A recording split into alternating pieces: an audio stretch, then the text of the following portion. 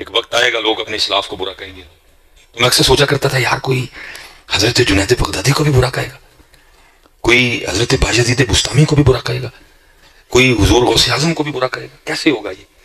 तो हज़रत फिर जेलम के उस लोंडे ने बता दिया कि ऐसे होगा। तो मुझे दुख होता है कि मैं इस दौर में हूँ कि जिस दौर में हजूर गौस आज़म के लिए कहा जा रहा है कि वो तशाई कोई। कि जिस दौर में हज़रत बाजीद के लिए कहा जा रहा है कि बाजीद तशाई कोई। उस जेलम के लोंडे ने साबित कर दिया हज़रत। कि इस तरह होगा। असल में इशू बड़ा ना कैमरे का भी। आजकल वो कमरे वाली सरकार भी वारद हुई है उसका काम ही बस बैठ के कीड़े निकालना है। और उसको बेचारे को आता भी कुछ नहीं है। बस कीड़े निकालेगा बैठ के। ये तू मर जाना कीड़े कट कट के कीड़े वाली सरकार, तू मर जाना कीड़े कट कट के। तू मर जाना है, तेरे जैसे कई मर गए तेरे जैसे कई मर गए। तू सड़, तू मर। तू अपने कमरे में मर जाना बह के, कीड़े कट कट के। तू मर जाना अपने कमरे च बैठे बैठे कीड़े कट कट के। मर जाना जिसने कीड़े निकाल और ये को पहला नहीं आया? ऐसे बड़े आए हैं इससे पहले, जो कीड़े निकाल निकाल के चले गए। लेकिन कुर्बान जाऊँ, आज भी उन्हीं की कब्रें ज़िंदा है, कीड़े वाले किसी नहीं जानता कोई? हाँ जी, आज भी बच्चे बच्चे से पूछ लो, दाता साहब कितने रहते आज भी बच्चे बच्चे से पूछ लो, बाबा फरीद कितने रहते हैं? आज भी बच्चे बच्चे से पूछ लो ख्वाजा गरीब नवाज़ कहाँ रहती हैं? आज भी बच्चे बच्चे से पूछ लो हज़रत सुल्तानुल हिंद हज़रत ख्वाजा गरीब नवाज़ कहाँ रहती हैं? कई कीड़े निकालने वाले आए मर गए हज़रत जी पूछता कोई नहीं। उनकी उनकी उनकी कब्रों पे लिद फेंकने वाला भी कोई नहीं है। इसने मर जाना जी अपने कमरे में बैठे बैठे। आ, कुछ भी नहीं होना इसलिए ये बिल्कुल ना आप इसकी टेंशन लें। लेकिन ये है कि बस हमारी आवाम थोड़ी सी सादा लो। मैं कल भी एक बच्चा जो है ना परसों परसों मुझसे मैं यार गल सुन मैं तेरे बहस नहीं करूँगा ना बहस मेरी आदत है, ना मेरे को बहस होंगी तू किस बंदे की वकालत कर रहे हैं? क्या उसका इल्म, क्या उसका मामला है? गुलाम अहमद कादियानी दजाल ने जब जिल्ली नबी या बरूजी नबी होने का दावा किया ना तो आप क्या समझते हैं उसने डायरेक्ट दावे नबूत किया हुआ उसमें? उसने कहा, जी, आप इसका मतलब नहीं समझ रहे।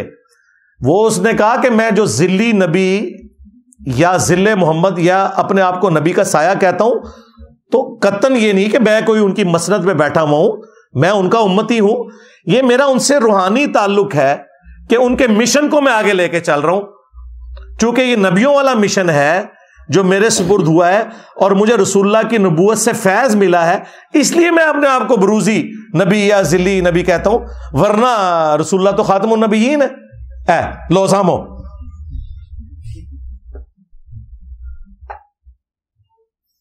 जब मजीद दबाया गया उन्हें क्या थोड़े बाबे सारे ही कम पा के गए जे।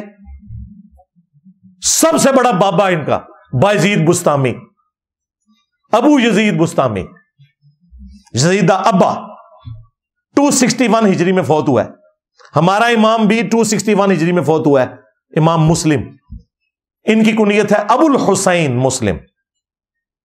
इन्हों इमाम अबू यजीद बुस्तामी। उनके बारे में मैंने नहीं उनसे गन पॉइंट पे कहलवाया ये। तस्करतुल औलिया किताब, जो देवबंद और बरेलवी दोनों प्रिंट कर रहे हैं। इसके हवाले देवबंदियों की फजाइल अमाल में मौजूद है, बरेलवियों की फजान सुन्नत में। पूरी दुनिया में किस्से कहानियों की सबसे बड़ी टेक्स्ट बुक बाबों की, सूफिया की तस्करतुलौलिया या। शेख फरीदुद्दीन अत्तार 627 हिजरी में आज चल रहा है। आज है 14 शाबान 1445 हिजरी। 800 साल पहले मंगोलों ने इसे कत्ल किया था। निगाह नहीं मार सका मंगोलों के आगे। और आज अल्लाह ने मंगोलों की औलाद को हदायत दी है और इनके जो बाबे हैं ना, उनके ऊपर मुसलत कर दिया काबे को मिल गए पासमां सनम खाने से। तो फरीदुद्दीन अतार जो है, इसने अरबी में किताब लिखी तस्करतौलिया और ये सारे बाबों के किस्से कहानी उसने ही सारे जमा किए हुए हैं, जो आपको मिसबाई साहब भी सुनाते नज़र आते हैं, जो आपको तार जमीर साहब भी इसी तरीके से ये जो मुस्तफ़ाई साहब हैं, ये सुनाते हुए नज़र आते हैं। जितने भी आपको बुज़ुर्गों के बापा जानी जो सुनाते हुए नज़र आ रहे हैं। तस्करतौलिया में उसने बाजीद बुस्तामी के ऊपर चालीस पचास सफ़ों का चैप्टर बंद है। उसमें जाके उसने एंड पे जहाँ एक चैप्टर बांधा ना, बाजीद बुस्तामी की महराज अंदाज़ा करें। और नीचे लिखा कि इसे भी महराज हुई है और इसने अल्लाह ताला की ज्यारत की है। बाजीद ने खुद दावा किया हाँ। जी, अंदाज़ा करो। वो चैप्टर जहाँ स्टार्ट होता है ना, उससे जस्ट पहले, आखिरी जो अल्फाज है ना, पिछले चैप्टर के, बाजीद वाले के, उसमें एक शख्स बाजीद बुस्तामी से पूछता है कि, हज़रत, ये बताएँ कि अर्श क्या है? अल्लाह का अर्श। उन्होंने कहा, अर्श, मैं हूँ। लो जी, संभाल लो। पूछा गया, ये कलम जो अल्लाह ताला ने सबसे पहले कलम को पैदा किया, जामिया तिरमजी में हदीस है। उन्होंने कहा, कलम भी मैं हूँ। पूछा गया, ये अल्लाह की जो कुर्सी का ज़िक्र उनका कुर्सी भी मैं हूँ? अच्छा वो पता नहीं कहना डंगर सी सामने। इन्होंने मनने वाले भी डंगर। डंगरा ने मनने वाले डंगर। भाई, इसके बाद ही समझ आ जाना चाहिए थी कि बाबा जी टोन ने। हाँ। सुन सुना के सुननी, टुन्नी, पढ़ पढ़ा के सुननी, नहीं ने वो कहते हैं, हज़रत, ये जो आप इतने बड़े बड़े दावे कर रहे हैं तो आपसे पहले तो हज़रत इब्राहिम सलाम हज़रत मूसा और मोहम्मद रसूलुल्लाह सल्लल्लाहु अलैहि वसल्लम, इतनी बड़ी बड़ी हस्तियाँ हो गुजरी हैं तो ये आप किस किस्म के दावे कर रहे हैं? तो इसके जवाब में पता है बाजीद ने क्या बकवास की? उसने कहा, मैं ही इब्राहिम हूँ, मैं ही मूसा हूँ, मैं ही मोहम्मद हूँ। लानत है तेरे होते, तेरे मनने वाले होते। कुत्ते दी मौत मरो तुसे और अगर तू नहीं किया तो अल्लाह के हजूर तू बरी है। मनु तेरे कोई लेना देना नहीं। जे तू क्या तो कुत्ते की मौत मरिया और तेरे मनने वाले, तेरे दिफा करने वाले भी कुत्ते की मौत मर जान अगर उनकी किस्मत में हदायत नहीं है तो। आमीन। तुम कादियानी रो रहे हो कि उन्हें जिली नबी क्या है वो थोड़े बाजी ने डायरेक्ट कहा कि मैं ही मोहम्मद हूँ, मैं ही मूसा हूँ, मैं ही इब्राहिम हूँ। दसो हूँ कादियानी का प्यो केड़ा होया फिर? बाजीद बुस्तामी? और अगर उसने नहीं कहा तो बरी है, लेकिन तुम तो प्रिंट कर रहे हो ना। आज कोई वाबी भी निकला है, कोई देवबंदी निकला है, कोई बरेलवी निकला है कि इन किताबों के ऊपर बंदी लगाओ? लाहौर से प्रिंट हो रही है, शबीर ब्रदर प्रिंट कर रहा है, बरेलवियों का सबसे बड़ा मकतब। पीडीएफ रखे हुए इनको नज़र फिर कादियानी आते हो। कादियानिया दे अब्बे पहले पढ़ो। पहले चोरा दी माँ मारो। अभी ये बात खत्म नहीं हुई है। जब उसने ये दावा किया, उसने कहा, हज़रत, ये आप इतनी बड़ी बड़ी जो बातें कर रहे हैं, मैं ये हूँ ये हूँ। तो उन्होंने कहा, बात यह है कि मैं तो इससे भी बड़ी बात करता हूँ कि हक भी मैं हूँ, यानी अल्लाह ताला। हाँ हाँ ये जब ये सूफिया की टर्म जब बात हो ना, हक की तो उसने कहा, चूँकि हक मैं हूँ, फिर आगे उसने कहा, और हक के अंदर तो हर चीज़ आ जाती है, लिहाजा ये सारी चीज़ें मैं ही हूँ वही वादतुल वजूद. हाँ बिल्कुल, पैंथीज्म का कीदा कुफरी अकीदा। तोहीद को इस्टेब्लिश करना है तो कदीम को हादिस से अलग करना होगा। अल्लाह अपनी मखलूक से बिल्कुल अलग है। हाँ खालिक और मखलूक का फ़र्क है। एक हिस्सा नहीं बन सकते। अब मुझे बताएँ, इन चीज़ों के होते हुए आप लेके बैठे हुए हैं, जिली नबी, बरूजी नबी, उन्होंने तो डायरेक्ट किया कि सारे नबी मैं वहाँ और ये प्रिंट हो रहा है, ये ना समझिएगा। और ये आपके सामने ना मेरे डर की वजह से शायद कह दें, असी नहीं मंदे और मंदे जो है। और पिंडी के मुफ्ती ने वीडियो में आके दिफा किया है कि मैं इसकी तावील करूँगा कि उनके मुँह से अल्लाह बोल रहा था, जो उन्होंने कहा कि मोहम्मद और तमाम नबी मेरे झंडे के नीचे होंगे। इसी बाजीद नहीं भौंका था ना। मोहम्मद और तमाम नबी मेरे झंडे के नीचे होंगे। लिवाई आज़म मिल लिवाई मोहम्मद, मेरा झंडा मोहम्मद के झंडे से भी बड़ा होगा। नाउजुबिल्ला दो झंडे इसने खुद बनाए पहले। तो वो पिंडी के मुफ्ती ने वीडियो में कहा कि मैं इसकी तावील करूँगा कि उसके मुँह से अल्लाह बोल रहा था।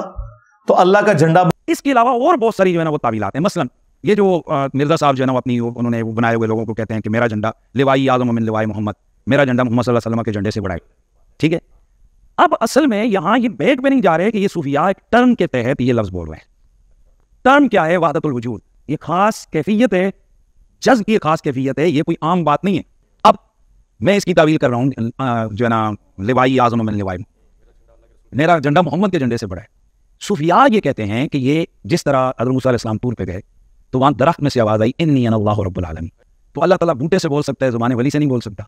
तो अब ये ज़ुबान बायजीद की नहीं थी, ज़ुबान उनकी एक नाम राई हो रहा है और वो कह रहे हैं, मेरा झंडा मोहम्मद के झंडे से बढ़ा। और लानत है तेरे कीदे के ऊपर। अल्लाह का झंडा तो पहले ही मोहम्मद सल्लल्लाहु अलैहि वसल्लम के हाथ में है। तेरे बाजीद के हाथ में कौन सा झंडा आ गया अल्लाह का? हाँ वो अल्लाह का वो झंडा है जो अल्लाह ने गद्दारों के लिए रखा है। वो बुखारी मुस्लिम में है कि मैदान माशर में हर गद्दार और खाइन के लिए एक झंडा मुकर किया जाएगा, ताकि दूर से पता चल जाए कि इसने ख्यानत दुनिया में की थी गद्दारी। तो ये तुम्हारे बुज़ुर्गों के झंडे ये होंगे। लेवाउल हमद नहीं होगा। हाँ। तो ये बातिल तवीलात। देख लो तुम्हारा बाजीद, यजीद का अब्बा। वो ये करता रहा। और ये ना समझिएगा कि सिर्फ़ सारी तावीलात इसने की है, पिंडी के मुफ्ती ने। अली अजवेरी साहब ने कशर मजूब में यही तावीलात की हुई है कि बाजीद के मुँह से अल्लाह बोलता था। तो कशुल मजूब तस्करतुल औलिया इन किताबों के ऊपर पाबंदी नहीं होनी चाहिए। ये दोनों किताबें बरेलवी और देवबंदी प्रिंट कर रहे हैं। और वाबी भी बीच में मुजरे में अहल हदीस इनके खिलाफ नहीं बोलते, क्योंकि ये इकट्ठे हैं तीनों। हाँ। तुम्हारी चोरी हम छुपाएँगे, हमारी चोरी तुम छुपा के रखना। हाँ। कल तक एक दूसरे को किस तरीके से ये अंग्रेज़ों के एजेंट कोई कुछ कहता था, आज सारे इकट्ठे हुए में तो ये बाजीर बुस्तामी की बकवासियात तस्करतलिया में प्रिंट है। इसके खिलाफ भी उलमा को मैं दावत हक दूँगा कि आप लोग आवाज़ बुलंद करें। अब आप लोगों ने मेरे अंदाज पे नहीं जाना, आप लोगों का भी अंदाज मैंने देख लिया है। तकिया किस तरह कादियानियों के बारे इन्होंने गले फाड़े ने? तो मैं तो उससे बहुत हल्का बोल रहा हूँ। क्यों फाड़े थे तुमने? इसलिए कि तुम समझते हो जनरली कि इन्होंने खत्म नबूत पर डाका मारा है। मैं भी जनरली ये समझता हूँ और मैंने साबित किया है कि जिन लोगों ने खत्म नबूत पर डाका मारा, जिनके खिलाफ तुम बोल रहे हो, उनका खुरा तुम्हारे घर निकलता है। तस्करतलिया में कशर मजूब के अंदर।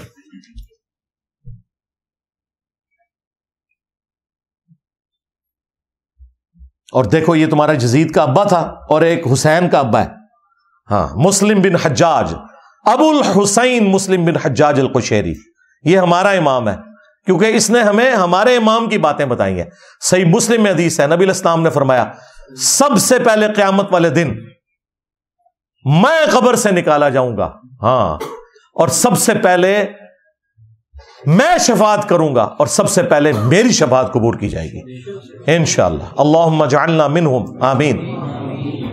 और सही मुस्लिम में यह हदीस है कि सबसे पहले मैं जन्नत का दरवाज़ा खटखटाऊँगा।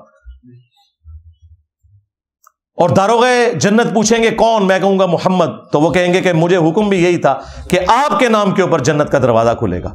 सल्लल्लाहु अलैहि वसल्लम। ये हैं Abul Husain Muslim bin Hajjaj al Qushayri अल मुतवफ़ा टू सिक्सटी वन हिजरी। और एक तुम्हारे हैं, अबू यजीद बिस्तामी, तैफूर बिन ईसाल बिस्तामी बिस्तामी भी बोलते हैं, बुस्तामी भी। अल मुतवफ़ा सेम टू सिक्सटी वन हिजरी। तो ये सारे इन लोगों ने, फिर कशर मजूब में साहब और शुक्र का चैप्टर देखें। यानी इन बुज़ुर्गों के मानने वाले भी फिर कैसे गुमराह होते हैं? कशर मजूब में अली अजमेरी साहब ने लिखा है कि मेरा मसला फंस गया तो मैंने जाके बाजीद बुस्तामी की कब्र पे जाके झाड़ू दी। मैं मुजावर बन गया तो मेरा मसला हल हो गया। जी, ये अली अजमेरी साहब ने लिखा हुआ है। क्यों? ताकि मेरी कब्र पे भी आके मुजावर बैठे। और फिर वो उसमें साहब और सुकर के चैप्टर में बाजीद बुस्तामी के सुकर का दिफा करते हुए कहते हैं, क्या मसला हुआ? रसुल्ला की भी तो निगाह एक दफ़ा अपने एक साहबी की बीवी के ऊपर पड़ गई थी ना नाउजुबिल्ला और वो जैद इबन हारसा पे हराम हो गई और बाद में हजूर ने शादी कर ली। तो बाजीद का शुक्र भी इधर से साबित होता है। हमारे नबी भी तो शुक्र में थे नाउजुबिल्ला और कहा कि जुनेद बगदादी का साहब तो वो तो हज़रत दाऊद इस्लाम भी तो अपने एक साबी की बीवी के ऊपर आशिक हो गए थे ना? और तो रात का वाक़ लिख के उससे बाजीद बुस्तामी और जुनेद बगदादी दोनों को जस्टिफाई किया। और मक्कारियाँ इन लोगों की देखें, ये जियाउल कुरान पब्लिकेशन ने छापी है कशुल मजूब। उसी जियाउल कुरान पब्लिकेशन ने पीर करम शाह साहब अलजरी ये उनका है, क्योंकि उनके जो पीर करम शाह साहब के पीर थे ना, सियाल शरीफ उनकी बैत थी। तो उनके जो बड़े पीर थे, वो जियाउद्दीन उनका नाम था। उसकी नस्बत से इन्होंने ये रखा हुआ था अपना, जियाउल कुरान पब्लिकेशन। तो जियाउल कुरान जब तफसीर छपी, पीर करम शाह साहब की सूरतुल अजाब में जब आयात आई कि अल्लाह ताला ने वो मुँह बोला, बेटा जो है, उसके रिश्ते के हवाले से हुक्म नाजिल फरमाया और नबी इस्लाम को ये इजाज़त दी कि आप जैद इबन हारसा की जो मुतल है, उससे शादी करें ताकि ये रस्म टूटे। वहाँ उन्होंने कहा कि बाज इस्लाम के दुश्मनों ने हमारी किताबों में ये वाकयात दाखिल किए हैं कि नऊजुबिल्ला हजूर की नज़र पड़ गई थी जैद इबन हारसा की बीवी के ऊपर। तो उन्होंने कहा, ये बिल्कुल इस्लाम के खिलाफ दुश्मनी है, ये वाकयात घाड़ के हमारी किताबों में दाखिल किए गए हैं। तफसीर में ये लिख रहे हैं, और उसी पीर करम शाह साहब ने तफसीर में यह लिखा और कशर मजूब का मुकदमा लिख दिया कि इस जैसी किताब ही कोई नहीं। और साढ़े बाबा जी खादम रिजवी साहब भी ऐसे हाथ में पकड़ते थे। वही वाली कशर मजूब जिसमें वो बार गुंबद बना हुआ है। कि जिदा कोई मुर्शद ना हुआ किताब पढ़ ले तो हम पूछते हैं, फिर ये इस्लाम के खिलाफ साजिश करने वाले दुश्मन कौन है? अल्लाह माफ़ी दे, आपा, खुद। असी खुद। अब ये बातें करें, कहेंगे, जी, वो पिटीशन आप फ़ाइल करें ना, जी, इंशाल्लाह हम करवाएँगे। पिटीशनें सालों से फ़ाइल हो रही हैं इनके खिलाफ। अभी तक कोई फैसले नहीं हो रहे। तुम लोग करो ना, कादियानियों के लिए निकले हो ना तो अब एंटी कादियानी काम छोड़ो, खत्म नबूत पे काम करो। और गुलाम कादियानी दज्जाल ने तो जिल्ली नबी कहा ना, तुम्हारे बुज़ुर्गों ने तो डायरेक्ट पढ़वाया चिश्ती रसूल्ला हाँ? आज मुफ्ती मुनीबुर रहमान से इन्होंने फतवा दिलवाया कि जी वो किताबें बदल गई ना मुफ्ती साहब, कहानी ना करवाओ। किताबें नहीं बदलियाँ। तुम लोग बदल गए हो मेरे डर की वजह से। अगर ये किताबें बदली होती तो मुझे बताएँ, आठ से सौ साल पहले ऑलमोस्ट 1921 में डेथ हुई है अहमद बरेलवी की। वो तो चिश्ती रसुल्ला वाली किताब को एंडोर्स कर रहे हैं। उस जमाने तक तो नहीं बदली हुई थी। ये बाद में बदली है। ज़ाहिर हम आला हज़रत की बात माने मानेंगे तुम्हारी।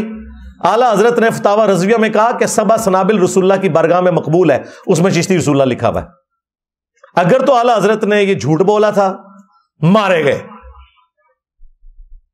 उनको पता भी था उसमें ये लिखा हुआ है। कहते नहीं, उनको नहीं पता चला। तो आला हज़रत की बुजुर्गी गई। कहते गौसे, वक्त है तो दिल दाल तो सारी कायनात को राई का दाना जैसे थैली पे होता है। और नसो तू है।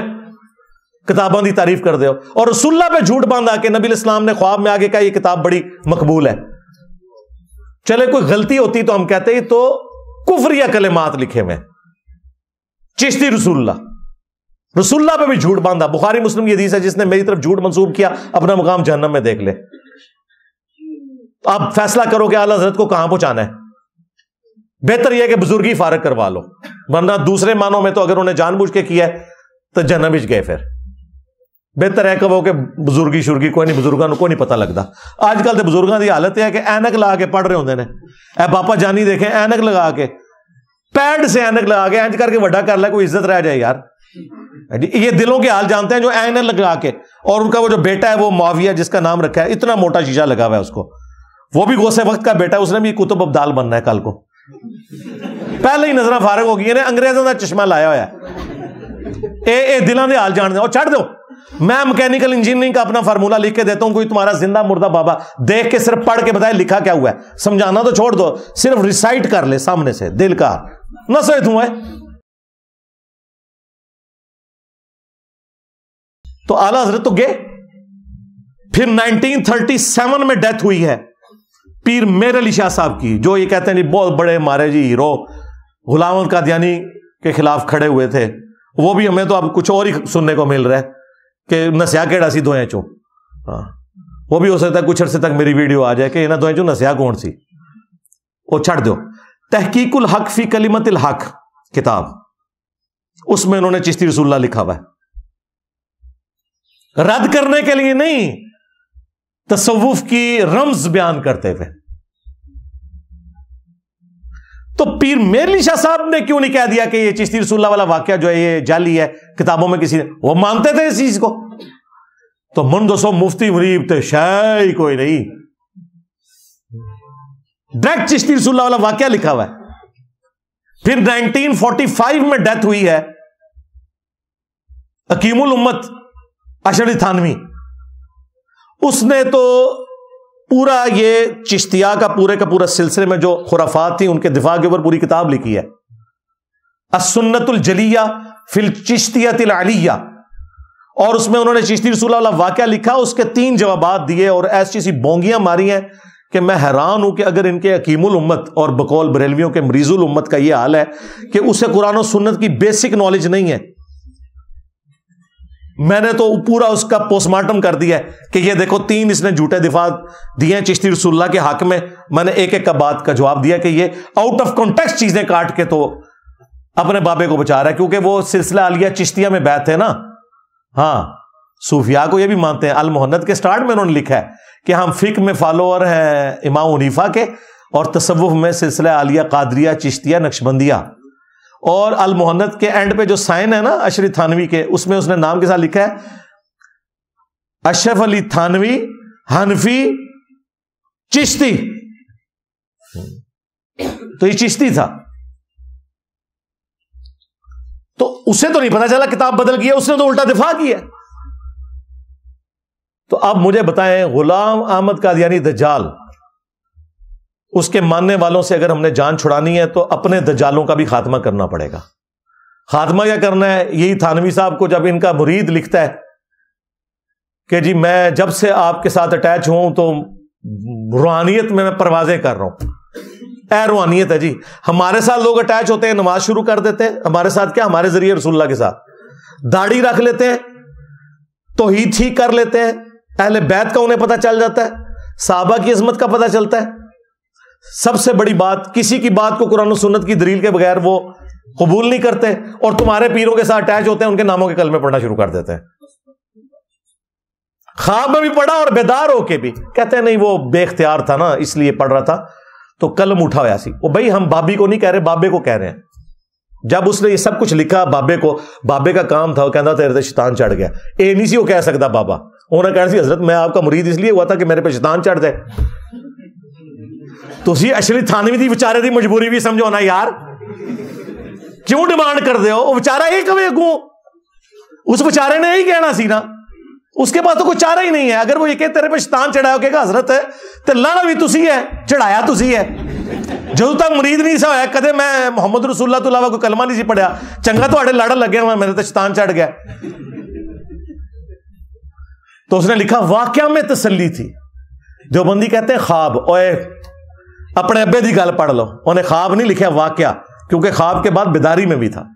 वाक्या में तसली थी कि अशली थानवी तेरा पीर मुतब सुन्नत है। यानी कि इसका मतलब यह है कि हज़रत अबू बकर उमर, उस्मान अली के नामों का लोग कलमा पढ़ते थे।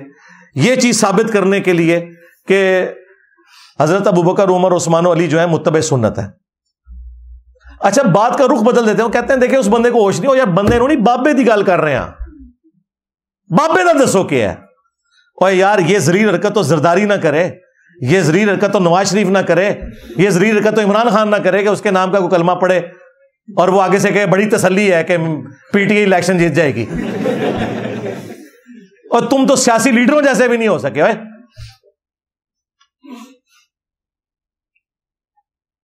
तो इन सारी चीज़ों के ऊपर पाबंदी होनी चाहिए ना जी? हाँ। जिस तरह कहते हैं ना, हाथ उठा के जरा हाथ उठा के दो हाथ उठा के दसो। कि भाई कादियानिया जायज़ औलादो और कादियानिया के जायज़ बुज़ुर्गों ने मनने वाले हो, पहले अपने घर का खुरा जड़ा ने साफ़ करो। फिर मनांगे तुम खत्म नबूत काम कर रहे हो। बाकी सब कुछ तुम लोगों ने फ्रॉड किया हुआ हमें पता है, ठीक है ना? और ये बातें जब मैं करता हूँ तो इन्हें तकलीफ़ होती है। मेरा दर्द भी आप समझे ना? हाँ। आप देखें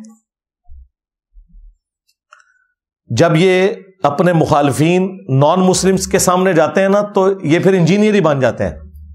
पिछले दिनों एक कादियानी का एक मुसलमान के साथ मुनाजरा हुआ। मैं नाम नहीं लेता, फिर लोगों के दिल दुखेंगे। उस कादियानी ने जब देवबंदी बरेलवी अल हदीस के बुज़ुर्गों के कच्चे चट्टे खोले ना तो होना तो चाहिए था कि वो उसके हवाले से कोई डिफेंड करता। कहता, नहीं नहीं नहीं नहीं, मुझे किसी बुज़ुर्ग का हवाला ना बताएँ, आप मुझे कुरान सुन्नत का बताएँ। सीधे इंजीनियर बढ़ जाते जे इतने इबन तैमिया राहिमाहुल्ला थानवी राहिमाहुल्ला अहमद बरेलवी राहिमाहुल्ला ਉੱਥੇ जाके जी नहीं नहीं हम किसी को ऑन नहीं करते ये भी वैसे अधूरा जवाब है जवाब ये देना चाहिए सी ये ਤੁਹਾਡੇ ਪਿਓ ਨੇ ਲੈ ਜਾਓ ਇਹਨਾਂ ਨੂੰ ਇਹ जवाब होना चाहिए तो मुनाजरों में तो यही कुछ होगा वहाँ जा कहते हैं, नहीं, कुरान और सुन्नत की दिफा के लिए हम बैठे हैं। हम किसी हस्ती के दिफा के लिए नहीं बैठे। तो मुसलमान भी यही गल कर करो ना। इधर तो तुम हस्तियों का दिफा कर रहे होते हो। तो अब आपको पता चला कि ये नॉन मुस्लिम के सामने अपना मुकदमा हार जाएँगे, जब तक के इंजीनियर वाली डॉक्ट्रिन नहीं रखेंगे। तो यार, खुदा के लिए मुनाफ्कत छोड़ो। यहाँ पे भी, अपनी इमाम में भी वही बात करो। कि कोई बुज़ुर्ग हम ऑन नहीं करेंगे, कुरान और सुन्नत को ऑन करेंगे। और बुज़ुर्गों की सिर्फ़ वो बातें मानी जाएँगी जो कुरान और सुन्नत के मुताबिक है। हाँ नहीं तो अपने अपने बुज़ुर्ग जड़े अपने कोल रखो। सानू नहीं चाहिए था बड़ी खिदमत कर ली इन्होंने इस्लाम दी। आ अच्छा ये सारी जो गुस्ताखाना इबारतें हैं ना जी, इनके हवाले से एक तो इनका लेम एक्सक्यूज था जी, किताबें बदल गई, वो तो मैंने कच्चा चट्टा खोल दिया कि बिल्कुल झूठ बोल रहे हैं। सौ साल पहले तक तो कोई नहीं बदली हुई थी, आज मेरी वजह से ये कह रहे हैं। चले, अच्छी बात है, लेकिन वो उन बुज़ुर्गों का फिर कुछ इलाज करेंगे जो दिफा करते रहे। एक ये बड़ा इनका एक्सक्यूज होता था, वो खत्म हो गया। दूसरा ये कहते हैं जी, बुखारी में एक हदीस है। तालीकन इमाम बुखारी लेके आए हैं, मौला अली इस्लाम का कौल। और पूरी सनत के साथ मौला अली से ही रवायत है, जामिया तिरमजी में सोनो इबन माजा के अंदर, कि अल्लाह के महबूब सल्लल्लाहु अलैहि वसल्लम ने फरमाया, तीन लोगों से अल्लाह ताला ने कलम को उठा लिया नंबर वन, जो मजनून और पागल शख्स है। यानी इनके नज़दीक वो फिर आगे कहते हैं कलंदर, और अद्दी कलंदर भी है। दूसरा सोया हुआ शख्स जब तक के बेदार ना हो जाए, और तीसरा, नाबालिग जब तक के बालिग ना हो जाए। तो वो कहते हैं, हमारे बुज़ुर्ग भी जो है ना अल्लाह की मोहब्बत में ऐसे मजनून होते थे। और पागल का वो अल्लाह जो बंदे हो, अल्लाह की मोहब्बत में मजनून होके ये कुछ करते थे। क्या हज़रत अबू बकर, उमर, उस्मान, अली रदी अल्लाह अजमैन वालीम अजमैन ने अल्लाह और उसके रसूल की मोहब्बत में ये कुछ किया? एवं झूठा दिफा। तो बुज़ुर्ग ना फिर डिक्लेयर करें, उन्हें पागल डिक्लेयर करें। दूसरा इनके पास दिफा होता है सही मुस्लिम में एक हदीस है कि नबी इस्लाम ने मिसाल बयान की, उस शख्स की कि जो अल्लाह के हजूर तोबा करता है कि अल्लाह ताला को उसकी तोबा से कितनी खुशी मिलती है। गोया के एक ऐसा शख्स जो रेगिस्तान में हो और उसकी सवारी गुम जाए और उसे मौत सामने नज़र आए, क्योंकि रेगिस्तान में अगर सवारी गुम गई, सामान आपका उस पर लदा हुआ था, ना खाने की कोई चीज़, ना पीने की, वो अपनी मौत का इंतज़ार करे। थोड़ी देर बाद अचानक वो सवारी सामने आ जाए और वो इतना खुश हो दोबारा ज़िंदगी मिलने पर कि बेख्तियार उसकी ज़ुबान से निकले। कहना तो उसने ये था कि अल्लाह, तू मेरा रब, मैं तेरा बंदा। लेकिन इसके उलट अल्फाज निकल गए कि, तू मेरा बंदा, मैं तेरा रब। और आगे नहीं पढ़ते, उसमें आगे अल्फाज है, मिन शिद्दत फरह। खुशी की शिद्दत की वजह से ज़ुबान लड़खड़ा गई। ये नहीं कि, बेटा, पढ़। खैर है बेटा, तसल्ली है। अब देखें, ये दो अल्फाज, यानी उसको तो नबी इस्लाम ज़ुबान का लड़खड़ाना कह रहे हैं, गलत मान रहे हैं, ये दिफा कर रहे हैं। ये टोटल इनके पास तीन दिफा थे। किताबें बदल गई। तीन लोगों से कलम उठा बुखारी की हदीस और मिन शिद्दत मुस्लिम की हदीस। टोटल इनके पास ये है। पूरे जखीरे हदीस में ये है इनके पास। और वो भी आउट ऑफ़ कॉन्टेक्स्ट इससे आप इनका इल्म हदीस का भी अंदाज़ा कर लें कि क्या है।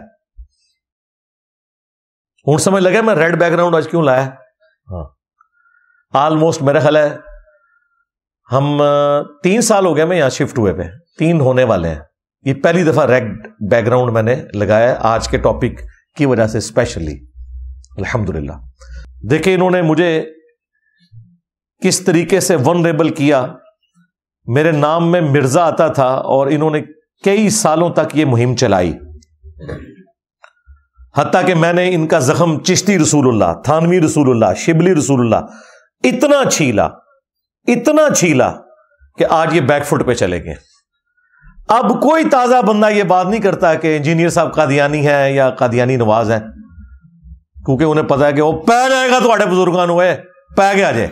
पै गया ਗਿਆ ਜੇ ਤੁਹਾਡੇ ਪਿਓਾਂ ਪੀਰਾਂ ਨੂੰ ਸਰ ਨਿਕਲੋ ਬਾਹਰ ਅਸੀਂ ਫਿਰ ਵੀ ਨੌਕਰੀ ਅਦਾ ਕਰਦੇ ਪਏ ਅਸੀਂ ਫਿਰ ਵੀ ਨੌਕਰੀ ਅਦਾ ਕਰਦੇ ਪਏ ਓਏ ਮਿਰਜ਼ੇ ਦੇ ਖਿਲਾਫ ਤੁਹਾਡੇ ਪਿਓ ਨੇ ਕਰਨੀਆਂ ਨੇ ਨਿਕਲੋ ਬਾਹਰ ਸਟੇਜ ਪਰ ਬੈਠ देखने वाले हाथ खड़ा करके बताएं मुझे बताएं ये काम ठीक है कि नहीं तमाशा करते हो फिर कहते हैं मसलक का काम नहीं होता मसलक वालों को तुम खुद रगड़ते हो और जरा ਤੁਹਾਡੇ ਪਿਓਾਂ ਨੂੰ ਪੈ ਗਿਆ ਹੁਣ ਤੁਸੀਂ ਚੁੱਪ ਬੈਠੇ ਹੋ ਆ ਨਿਕਲੋ ਬਾਹਰ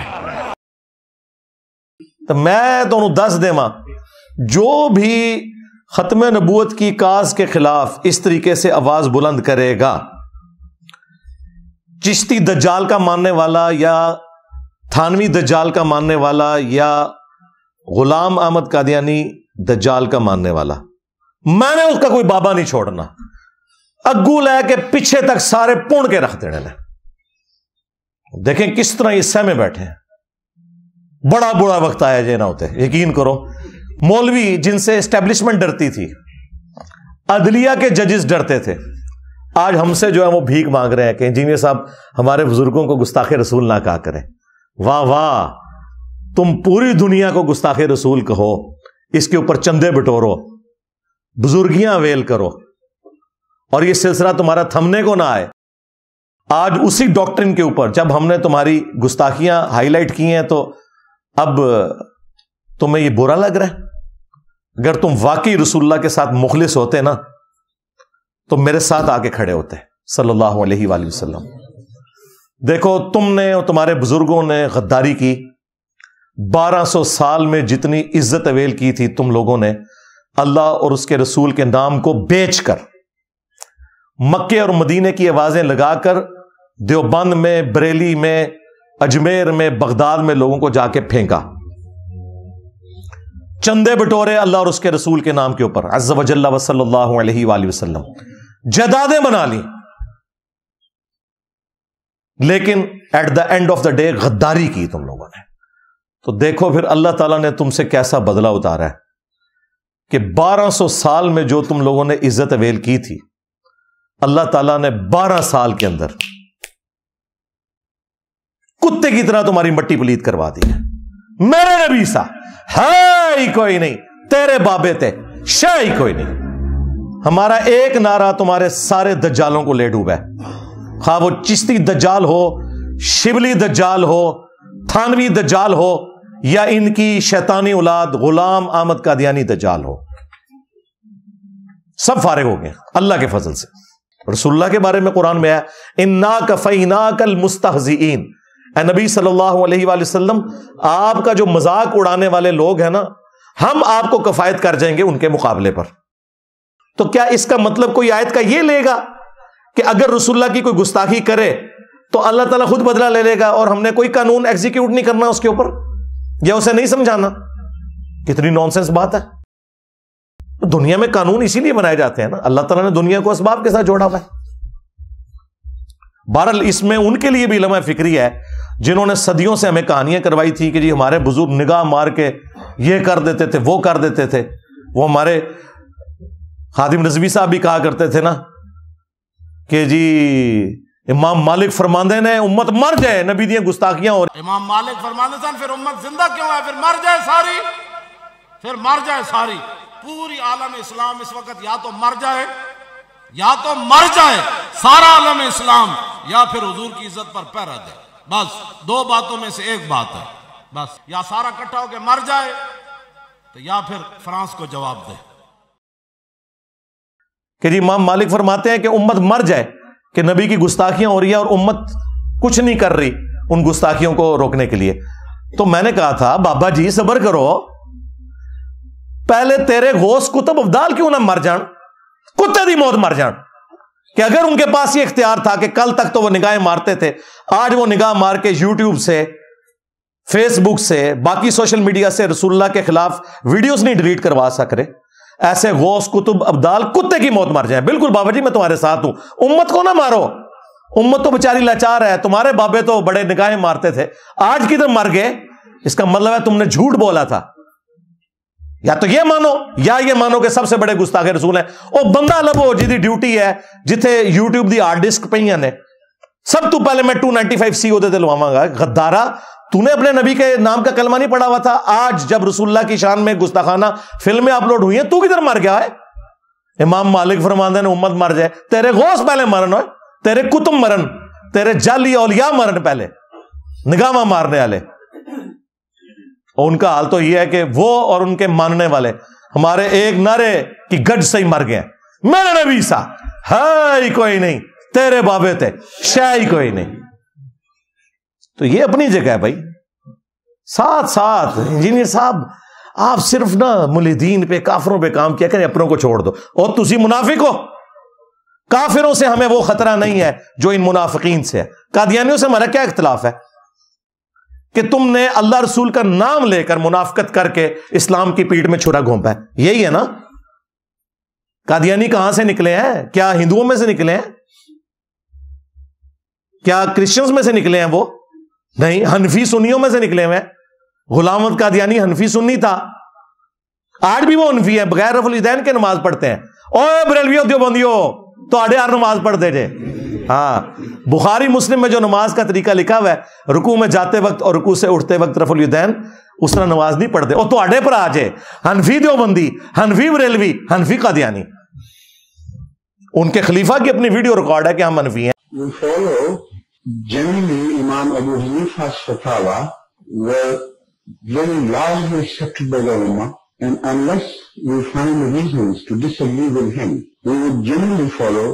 the Fiqh Hanafiya. Investigate personally directly. The over the, the overbearing principle should be that you follow Hazrat Imam Abu This is the entire attitude of Jamaat Ahmadiyya. इनमें से निकले मैं तो इसने जो गुमराही फैलाई हमें इसके ऊपर गुस्सा आता है इसलिए आता है कि इसने इस्लाम का नाम लेकर इस्लाम को नुकसान पहुँचाया। बिल्कुल इस तरीके से थानवी रसुल्ला चिश्ती रसुल्ला इस तरीके से बाकी बुज़ुर्गों ने जो जो खदम नबूत पर डाके मारे, हमें भी उन पर गुस्सा आता है कि तुम लोग मुनाफ्त कर रहे हो। पहले घर की सफ़ाई होगी। काफिरों को हम किस मुँह से इस्लाम की दावत देंगे जब इस्लाम का जनाजा निकालने वाले इधर बैठे हुए